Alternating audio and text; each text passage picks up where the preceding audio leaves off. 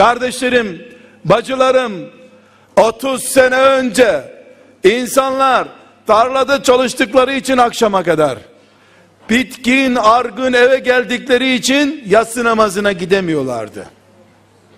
Şimdi tarlalar bomboş, traktörler iki saatte aynı işi hallediyor. İnsanlar neden şimdi yatsı namazına gidemiyorlar? Çünkü film var.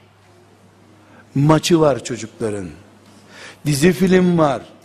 Buyurun, buyurun. Demek ki 30 sene önceki taktikler değişti. Biz hala çok çalışırsan yatsı namazını kaçırabilirsin mi diye çocuklarımıza eğitim vereceğiz. Hayır. Diyeceğiz ki yavrum bak bak dünyanın en heyecanlı filmi bile Allah'ın huzurunda durmak kadar heyecanlı değildir. Film mi izleyeceksin? İzle. Allahu Ekber'i duydun mu? Hayat dursun. Film kesilsin. Rabbinin huzuruna dön. Maç mı edeceksin? Yap yavrum. Ayakkabın da benden olsun. Allahu Ekber'le oyun bitsin. Rabbinin huzuruna dur. Eğitim bu.